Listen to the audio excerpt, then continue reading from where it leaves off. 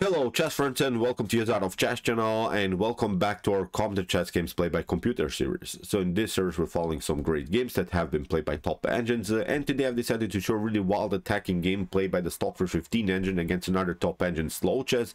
The game I found on this beautiful chess website, the, uh, the official ccrchess.com. Uh, you can also check out the website. I think it's a great great uh, website about chess where you can download all of the PGNs that have been played by top engines so you can just maybe download some Stockfish games if you're interested into the new games played by Stockfish 15. But you can also download the PGNs in particular openings if you're maybe interested just in the, uh, I don't know, maybe King's Gambit. You just download the PGNs about the King's Gambit and have maybe a decent preparation also in this particular opening. So it's really, really beautiful website. But today, specialty will be the so-called English defense. And the English defense is uh, really annoying to handle, I think. Uh, the English defense meets some ideas of the Nimzo Indian defense and also of the Queen Indian defense, but with a different move order.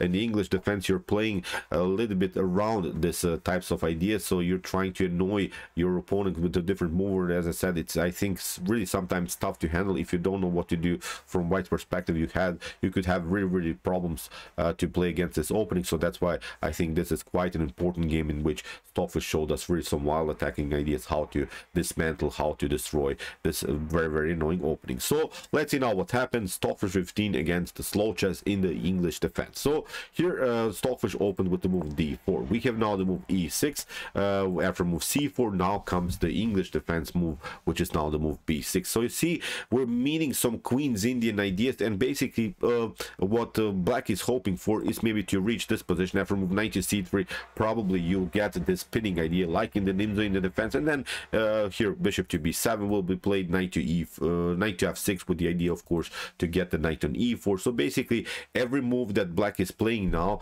is uh, control of the e4 square. So you see the bishop is targeting that square. The potential knight move is also controlling the square. E4 the bishop on b4 is of course attacking the knight on c3 it's also controlling the e4 square. So with a different move order uh, black is trying to annoy you and uh, reach this kind of a position where uh, black could have a perfect perfect control of the e4 square. But here after move b6 stockfish plays a normal developing move. Knight to f3 we have now bishop to b7 and now a3 stockfish is not allowing this uh, sort of nimzoic move. I like to call it the nimzoic move because it's uh, simply the move bishop to b4 so as, as i said again uh, black is uh, waiting white to play the move knight to c3 and then uh, probably you get pinned here with the move bishop to b4 but with the move a3 uh, here stockfish is preventing this idea. Now we have f5 by uh, Slowchess is trying again this idea knight to f6 and when then with the idea to occupy the e4 square to have a perfect control of this uh, centralized square. So in the continuation, after move f5, Stockfish develops the knight, knight to c3, knight to f6, and now an interesting idea d5 immediately because um, as we said, if you don't do this move, if you not uh, play d5, then you could have, I think, problems around the square e4 because uh, the bishop and the knight and also now the pawn are targeting the square. Now if I move d5, uh, black has several uh, positional problems because with the move d5 obviously white gains some spaces. And what white is trying now to do in these types of structures is to get the e4 move. If that happens in a good way for white so far uh, white cannot play of course e4 but if that happens in really an aggressive way in really a dynamic way then uh, white could have a really great control in the center of the board. Then with some ideas maybe bishop to d3 bishop to g5 queen to c2 uh, white could have really a decent setup. So in the continuation we have now bishop to e7 by Slowchess. Um, my opinion d takes e6 here d takes e6 is not making sense because you can maybe trade off the queens but uh, the good part about this move bishop to e7 is that you don't have to take out with the king and now okay maybe this is an equal position but of course stockfish never searches for equality. Stockfish wants to win the game so that's why this d takes e6 idea would probably lead into a two drawish position without of course the queens on the board. So after move bishop to e7 uh, stockfish plays now the move g3 you see stockfish is preparing with bishop to g2 uh, some ideas uh, to launch the e4 aggressive idea. In the continuation we have now knight takes uh, knight to e4 anyway by uh, Slowchess we have bishop to g2 and now knight takes c3 so okay here Slowchess um, doubled up the pawn structure by white. So it's of course a structural weakness uh, in white's position. But okay um, black played too many tempi i think with the knight black already played once with the knight twice and then the third time in order to uh, just maybe trade off the knights on c3 meanwhile you see white is developed. White is uh, white has played now many many moves with the minor pieces and is now just one uh, move far away from castling the bishop has a good activity and still our e4 goal is the main goal. I'm telling you about this e4 move because this move will come in the game uh, really, really in a beautiful way. So in the continuation we have now knight to a6 and this move makes sense because the knight will come to c5 and you see uh, you don't have any more the b pawn you don't have any more the d pawn in order to make further progress here in order to kick away maybe the knight on c5 so that's why here a good move also by Slowchess so we have now a4 kingside castling kingside castling and now bishop to e d6 by Slowchess slow chess is preparing now a very aggressive idea uh, e5 if that happens if black connects somehow maybe the pawns on the fifth rank then black could have also good ideas. Of course e4 f4 are ideas then uh, maybe to launch a flank attack. Then afterwards probably even some h6 g5 ideas. So this four pawns could actually storm uh, here on the king side. So after move bishop to d6 stockfish plays now immediately the move e4 stockfish is not tolerating this potential aggressive e5 f5 uh, setup. Is launching now immediately a wild attack because we have to say it when the bishop was in e7 it controlled uh, here the g5 square. Now after move e4 we have f takes e4 but now stockfish has the chance here to play knight to g5 and will eventually also take out the pawn uh, after a couple more moves. So really really uh, the game becomes now uh, dynamic. Uh, this is really great method what stockfish did here. In the continuation we had now knight to c5 knight takes e4 knight takes e4 bishop to e4 and you see now uh, okay many pieces are traded off. Also we have to say it's still white has this structural weakness white still have the, has this uh, double pawn structure but look at this now. This bishops are quite quite dangerous. This bishop is a little bit out of game and we have to say it also this bishop is a little bit out of game. It has a decent activity. It has uh, something to attack but i think uh, the bishop on d6 is a little bit lonely here. It doesn't have support. Meanwhile look at this. This aggressive formation of whites is a little bit different. The queen will come into the game here on h5 so it's really now hard to handle here this position for black. So in the continuation we have e takes d5 c takes d5 now bishop to a6 so you see uh Slowchess is trying desperately now to get this bishop into the game. And now the fun really really starts. Many of us i think would play this move. Queen to a5 and uh, you hope that you have really here winning position because you're uh, launching an attack with three pieces. You're having this beautiful bishop pair with the support of the queen. Uh, many of us i think would make this mistake and launch this kind of an attack because this is not working. Black has control play here with the move bishop to, uh, pardon me g6 you have to maybe sacrifice here the bishop after bishop to g6 actually black has a good uh, defensive move queen to e7 and now what should you do? You have to now retreat with the bishop and now the black simply takes out the rook and uh, this should be in my opinion a good position now for for black. Still okay this is not a clarified situation because still the king is a little bit naked but when it comes to dark squares we can at least i think play bishop to e5 bishop to g7 so the bishop still could be a good defensive piece in front of the king. So that's why this is uh, not working. So as we said here after move c takes d5 bishop to e6 many of us, I think, would launch the attack immediately with the move queen to queen to h5. Here, Stockfish plays a brilliant move, and maybe you can pause the video and just for fun search here for the best continuation uh, for white. It's really hard to see but it meets with the same idea uh, to play the move queen to h5 but in a different way. It's really very wild. I'm i'm not sure how to explain it further because this is really brilliant uh, what uh, what Stockfish did here. So okay take your time and try to see now here the best continuation for white. So okay. Okay the correct move is actually to play the move c4 here sacrificing a pawn but the cool part about the move c4 is that actually you're getting your bishop into the game. Because look at this now uh, for instance if after move c4 and queen to h5 if you play now g6 it's a little bit different. This wasn't played in the game but i wanted to show you what was the difference uh, now with the move g6 when you have played or when you didn't play uh, uh, the move c4 look at this. Now actually the move bishop to g7 g6 makes sense because okay let's see now this defensive idea queen to e7 as we said this was the only defensive move for black. Now we can play bishop to uh, bishop to uh, b2 and look at this now. Both of these bishops are very very dangerous now. Even if you try now bishop to f1 uh, white doesn't have to even take out the bishop. White has this beautiful deflection idea. Rook to e1 look at this. This is really really wild. You're simply deflecting the queen from uh, the defense of the h7 square. No check is possible because basically the bishop is standing here in the way the bishop uh, would be.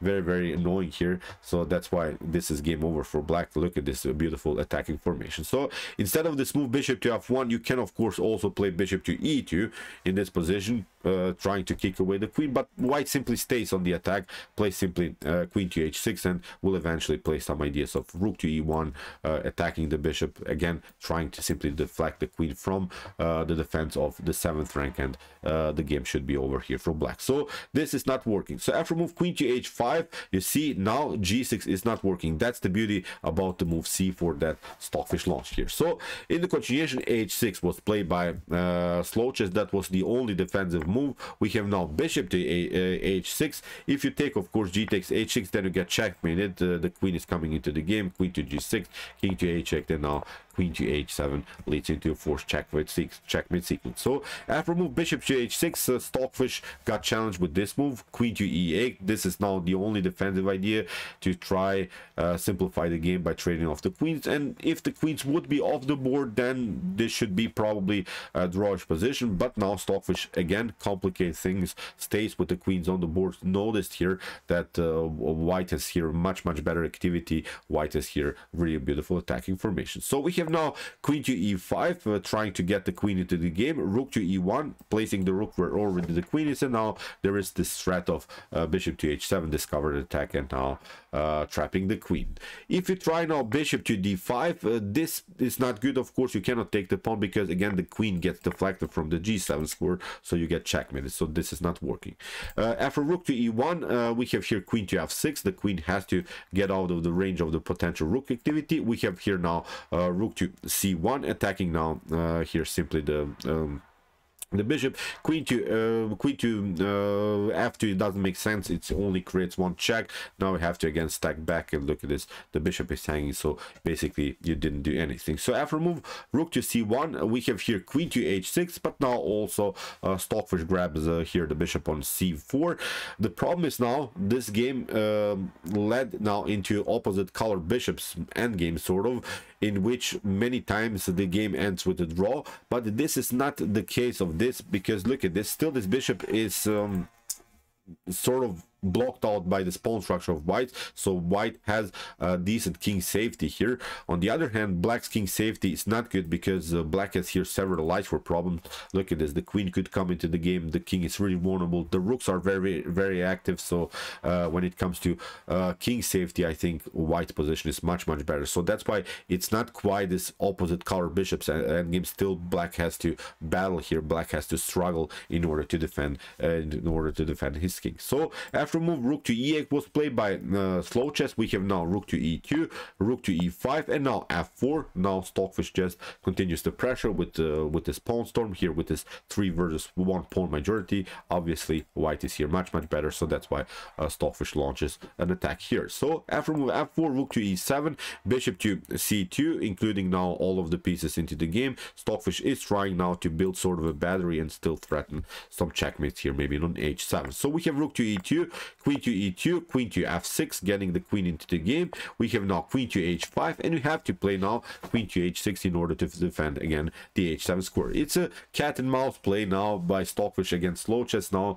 Uh, as i said black is just uh, defending the position. So here the continuation queen to g4 bishop to c5 uh, check. We have king to g2 uh, queen to d6 and now we have queen to h5 again threatening uh, queen to h7 so again you have to play queen to h6 we have queen to e2 now stockfish the brilliant move occupying the only open file here which is now of course the e file. And we can now also build a battery rook to e4 maybe rook to e8 there are is working. So again black is on the defensive side. So we have now queen to f6 rook to e4 we have bishop to d6 and now rook to e3 this move is uh, very important because of controls of course some uh, defensive ideas here. Before white it can also be maybe included here rook to f3 then you can maybe just to push pawn further. So basically stockfish is trying to just improve the pieces all over the board. So we have now queen to f7 queen to g4 and now a6 uh, trying maybe uh, some ideas of c6 then maybe b5 letting these pawns roll sort of uh,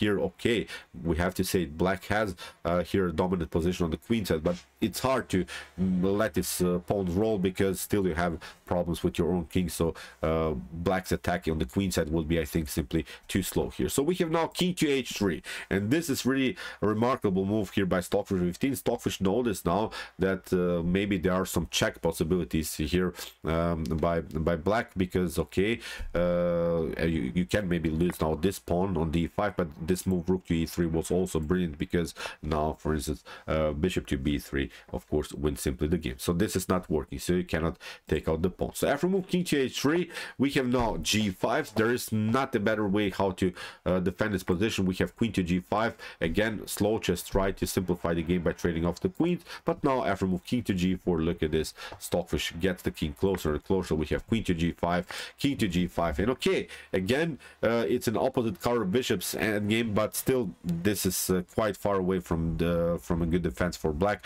because uh, look at this. These pawns are storming. The king is very active. The rook is active. The bishop is active. And of course here uh, we have b5 by Slowchess but it's simply too slow. H4 king to h8 stockfish simply pushed the pawn further. We have a check king to h4 and now after 8 takes b5 8 takes b5 stockfish just continues to, to push the pawns look at this bishop to g6 we have now f5 we have now g4 here stockfish simply push the pawn further. There's no counterplay for black black desperately try here uh, to push the pawns on the queen side. But now after king to h8 we have now f7 c4 rook to uh, rook to e8 trying to uh, trade off the rooks. We have bishop to b1 look at this. The the bishop is controlling both of these pawns. Even if this pawn comes on c3 c2 is never possibility. So the bishop is a good defensive piece here. Here we have uh, c3 g6 we have now uh, c2 we have now g7 um, the check. We have king to h7 and now after move bishop to d bishop to c2